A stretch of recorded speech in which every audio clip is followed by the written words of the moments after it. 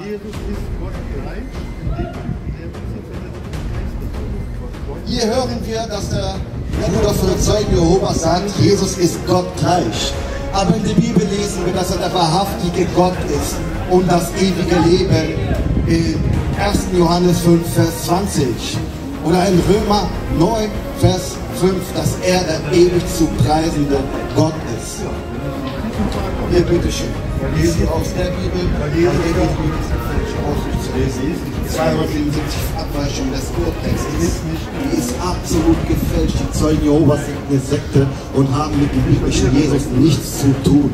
266 Stellen in ihre neue Weltübersetzung sind verdreht, sind verzerrt, sind gefälscht. Sie verkündigen ein ganz anderes Evangelium als das, was in der Bibel steht. Und die Bibel sagt uns ganz klar, wer ein anderes Evangelium verkündigt als das, was ihr gehört habt, der sei versucht. Die Zeugen Jehovas gehören also zu den Verfluchten. Sie brauchen die Gnade Gottes. Sie brauchen die Gnade Gottes. Denn sie gehören zu den Verfluchten. Denn jeder, der ein anderes Evangelium verkündigt, sagt die Bibel, der ist verflucht. Zeugen Jehovas sind keine Christen. Zeugen Jehovas sind keine Christen. Sie gehören zu den Verfluchten.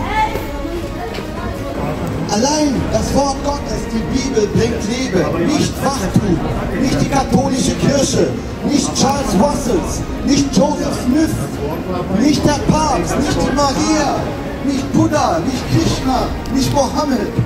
Allein Jesus Christus rettet. Wir brauchen Jesus Christus.